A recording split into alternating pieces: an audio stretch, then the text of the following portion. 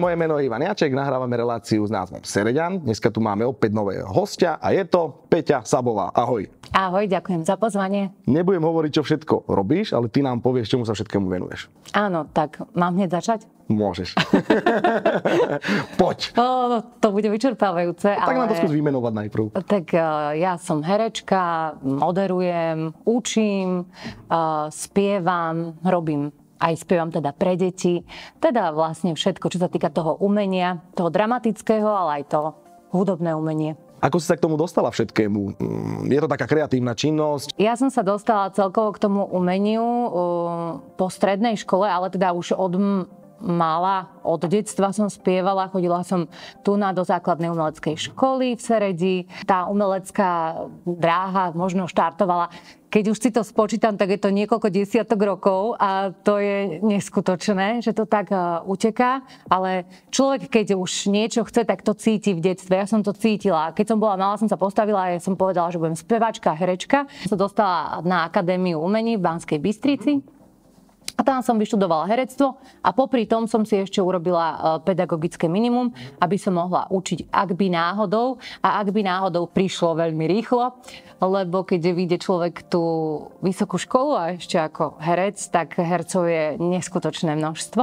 Je na Slovensku toľko hercov? Áno, nevedel si? Mm, ani ne. Nie? Ne, ja vidím ich tam pár a obmieniajú sa tam podľa mňa furt tí istí a Á, to tak- sa mi nepáči práve, takže To, to ani mne, ono dostať sa naozaj na tú najvyššiu ligu je asi najťažšie. na vysokej si teda išla herectvo a čo po tej vysokej teda? Tvoje prvé kroky kam viedli? Uh, aha, moje prvé kroky. Uh, ja som začala hneď, ak som skončila hostovať v divadle Jana Palárika v Trnave. Tam som mala také menšie postavy. Tam som hostovala nejaké 4 možno roky.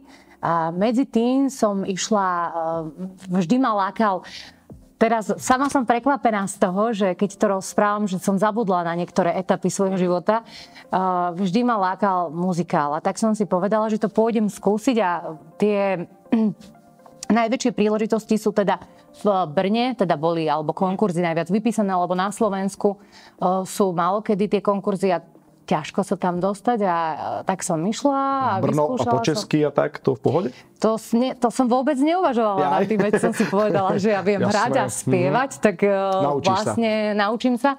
To som bola aj v Prahe raz na konkurze, tam mi to vytkli a stále som to nepochopila, ale tak Ako potom ten, že máš šla- akcent nejaký, alebo... Veď vy neviete po česky. Hm.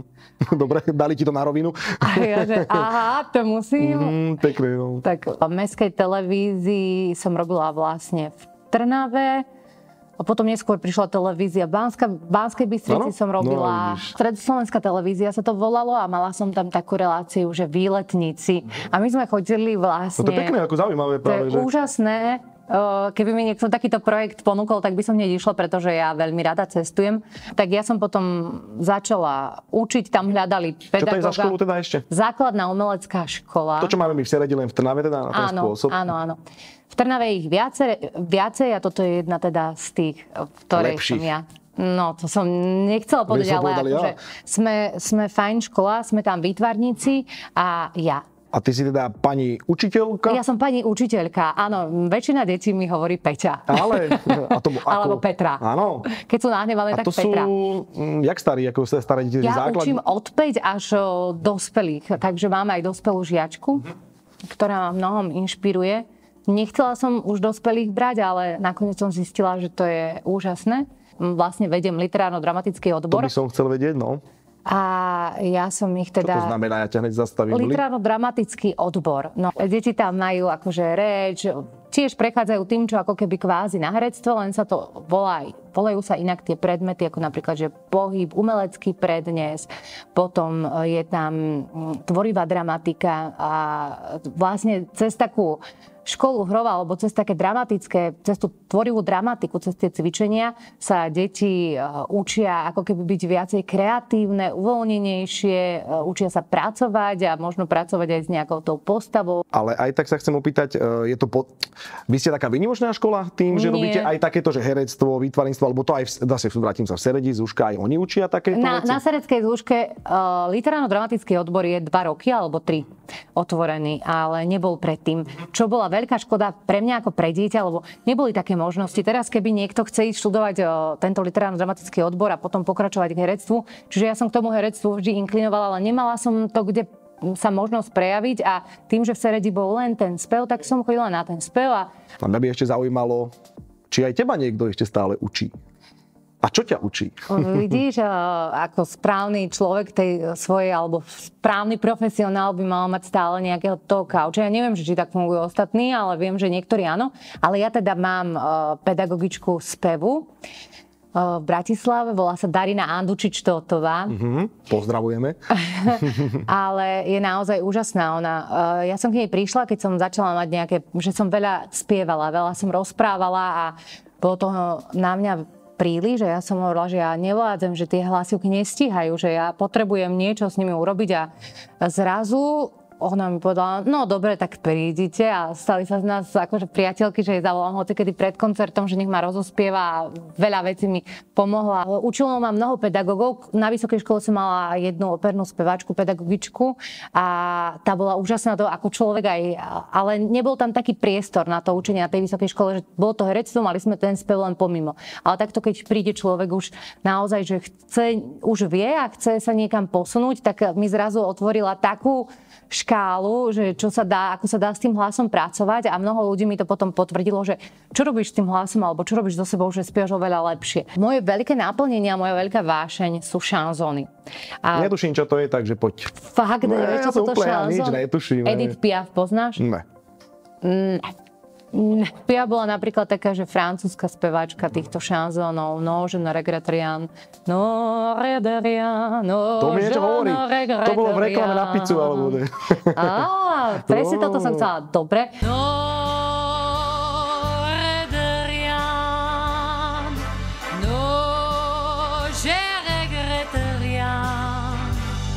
ni les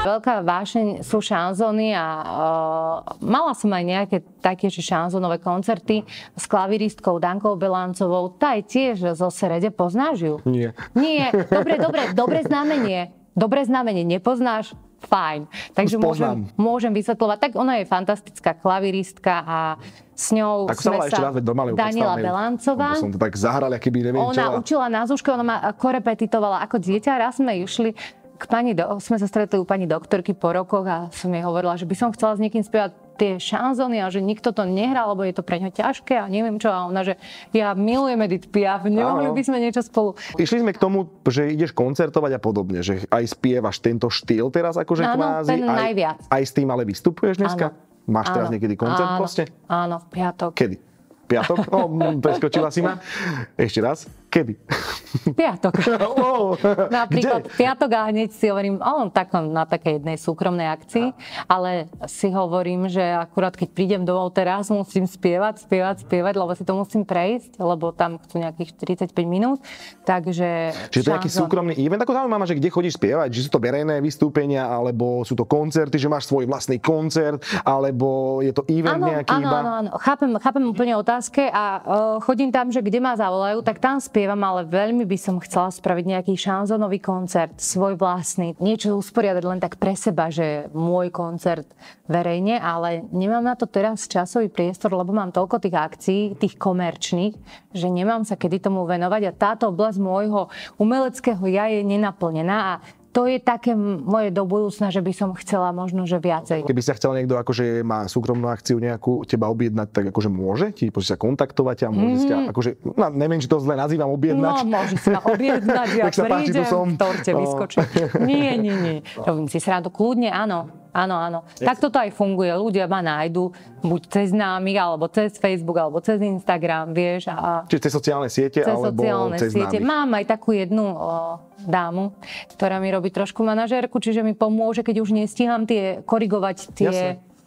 o, dátumy, tak, Termíny, tak mhm. mi, áno, ďakujem, tak mi teda pomôže ona takto, ale, ale tie spevácky sa snažím, potom už v iných veciach mi pomáha termínovo, alebo nedá sa to niekedy. Ja niekedy normálne sa zobudím s pocitom, keď mám voľno, že pane Bože, Niečo sa Čo som? Zabudla. Na čo som zabudla? Najhorší sen teda je ten, že nie som na vystúpení. To som... Poďme teraz ešte by ma zaujímalo, chcel som sa porozprávať, ja som si ťa teda čekoval troška na internete pozeral a ty sa teda venuješ aj detskému spievaniu, alebo ak sa, ako sa dá nazvať tento žáner? Rozprávke ja Pôsobím bývam teda ako za troma horami. Na lúke aj s kvetinkami, so zvieratkami.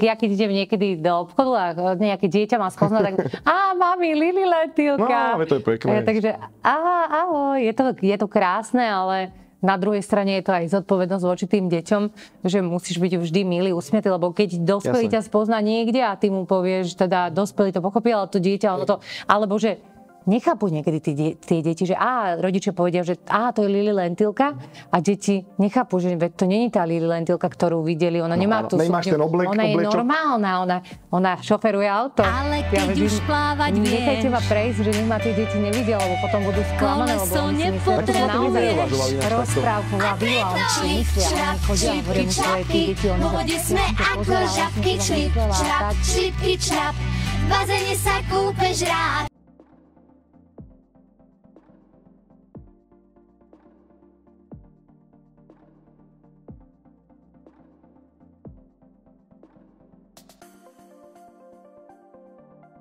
Prečo Lili Lentilka ináč?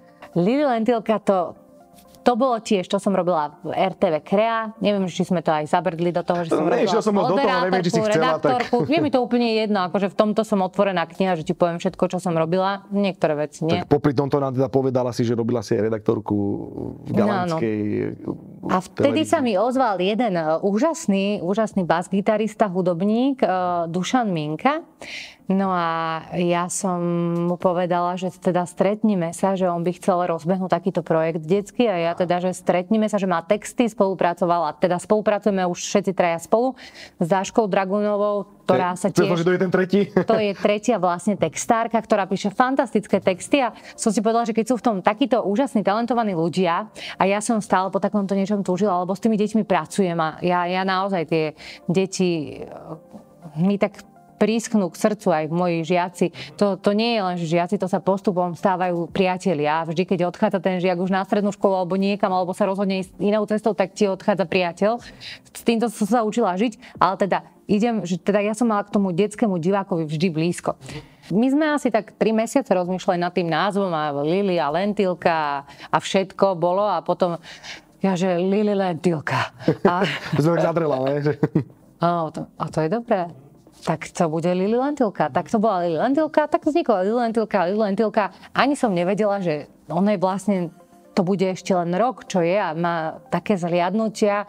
Tie deti milujú pesničku, napríklad Zvieratka a Koľko pesničiek už takých ste urobili? Tak okolo 10. A klipov máme možno, že 5 vonku. Teraz ideme robiť ďalší. A videl som, že ako YouTube jasné, ale videl som, že vy aj na nejakej televízii tej detskej chodíte. Môžeš povedať kľudne, Myslím, ale že na tom to Rikovi to, na Rikovi to chodí, tuším. TV, ale aj Lala TV. Tak to, Lala ne, to nepoznám, iba viem, že Rika mi niekto, Rik tam a som to Lala už videl. TV. No a ja to ani neviem, potom mi niekto pošle, že á, s malým som a že pozerám sa na teba a ja, že ahoj. Takže super. A popri tom teda asi robíte aj koncerty asi takéto? Áno, áno, áno. Teraz nás čaká, už máme úplne, že toho veľmi veľa, už mi stále pípa ten diár na telefóne, čo máme prepojenú, to vlastne Dušan mal taký nápad, ja, ja si všetko píšem do kalendára, ja mám taký svoj diár, ja si to tam všetko píšem. On už je Ja sa podľa toho orientujem, ja si to tam musím všetko napísať. Mňa to baví zapisovať si to, vieš, vtedy ja mám dobrý pocit, ale on to hádže do toho telefónu, tak potom mi to tam pípa všetkým, ale je to, je to praktickejšie, musím uznať, že nás to kontroluje, ten telefón ti pripomína tisíckrát za deň, že máš niečo urobiť ešte aj predtým hodinu, potom hodinu.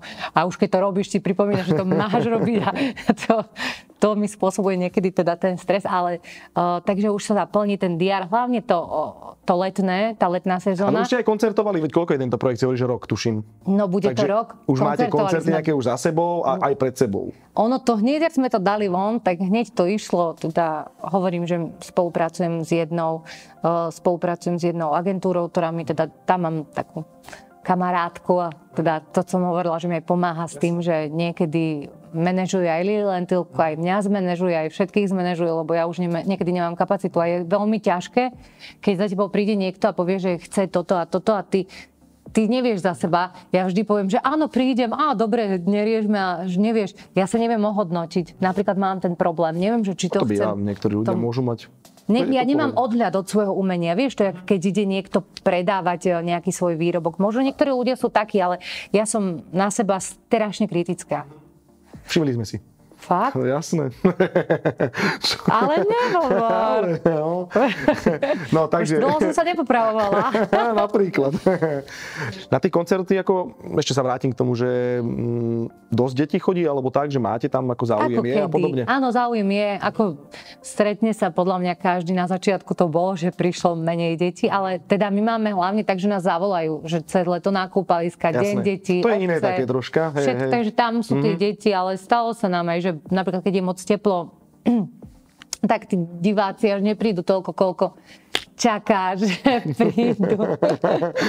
Napríklad. Takže niekedy nie, ale, ale akože v poslednej dobe a je to stále viac a viac, že teraz sme boli napríklad na Liptove naposledy a uh, ja som neverila, oni ma poznali. Takže tie deti boli také zlaté, že, že sa tešili, že Lili Lentilka a ty si odkiaľ a teraz sadnúť potom do auta a odísť, tak vždy sa snažím byť utajená, ale niekedy o, rodičia na tých koncertoch sú takí, že na teba tak zvláštne pozerajú, lebo ich to nemá až tak zabávať, má to tie deti, ale tí rodičia, oni sa neusmievajú, tak deti, ty tam robíš, skáčeš, To bude môj prípad, keď deti, s čo to je, niekde. Mhm. my a rodičia.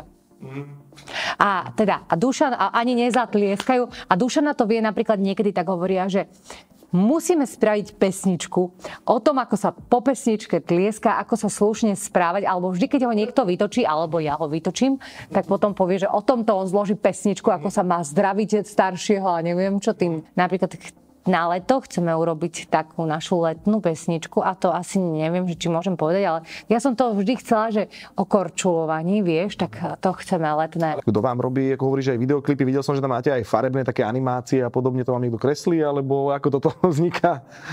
Farebné animácie, to je vlastne toho môjho Dušana kolegu, toho hudobníka, to jeho, takže to robí v podstate farebné animácie, vždy on to miluje, on animované klipy a vždy chcem hrané a to máme také, takže máme aj takého akože svojho dvorného kameramana, spolupracovali sme s viacerými kameramanmi, len uh, vždy chceme niečo ešte skúšať, ale teraz sme sa tak stabilizovali na jednom, tak dúfam, že ešte s nami niečo natočí, lebo to nemá ľahké. No, môže byť. A hlavne, keď robíš s deťmi. Keď Ale natáčaš s deťmi, vieš, to je, to je úplne, a to ja, ja sa na tom viem vždy zabávať, keď niekto, že ideme točiť s deťmi, všetko veď pohode a potom zbadá, že vlast, to nemôžeš mať ako hodinky.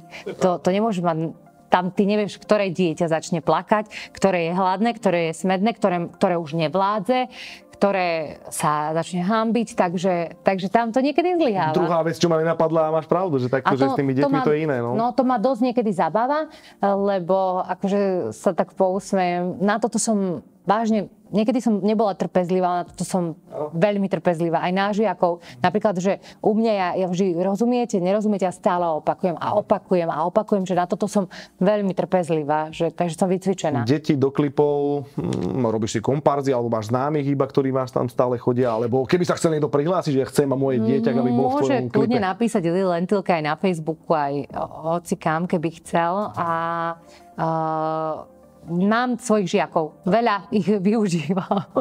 Takže Mám máš stálych. kapacity stále odkiaľ čerpať. Stále sa rodia tie deti a stále ich prihlásia ku mne a potom Ideme teda do záveru. Uh, skús nám ešte povedať, či máš nejaké plány do budúcna. Ako povedala sa nám ich kopec, ale nejaký možno ešte konkrétny jeden, čo by si chcela tak vypichnúť, či máš nejaké, nemáš. tak hlavne s tou Lentilkou pokračovať ďalej, aby sa to niekam posunulo. Dúfam, že sa to, že sa to bude ďalej rozvíjať a teda po, pokračovať viacej v tom šanzone a možno aj niečo vlastné. Možno Koncertnú takej, šnúru svoju nejakú si spraviť, keby to šlo. áno, vlastné koncerty a zamerané vlastne na ten môj štýl, na to, čo rada spievam a možno aj nejakú svoju vlastnú pieseň.